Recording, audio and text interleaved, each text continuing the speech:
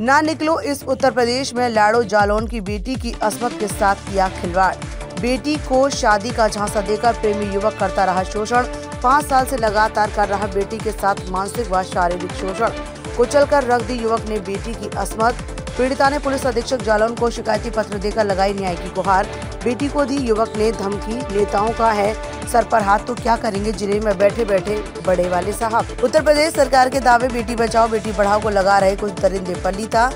पिता सुस्त, पुलिस मस्त और बेटी जुल्म के आगे पस्त। जनपद जालौन के कोच कोतवाली के अंतर्गत ग्राम बरौदा का मामला। जालौन से राहुल कुमार गुप्ता की रिपोर्ट। प्रार्थना पत्र में आपने लिखा है कि आपको धमकी व सातर किस्म की आपके साथ बदसलूकी की गई है तो आप क्या कहेंगे इस बारे में? हाँ जी बात सही है वो मेरे साथ मारपीट करता था। जो जब मैंने उससे मना किया कि मेरे साथ शारीरिक संबंध नहीं बनाएँगे तो वो मारपीट करता था मेरे साथ। और मैंने कहा शादी कब करोगे? यही कहता रहा कि मैं शादी करूँगा शादी करूँगा ना शादी करी ना उसे कुछ। लगातार कितने सालों से ये सब प्रकरण चल रहा है? पाँच छः साल से। अ,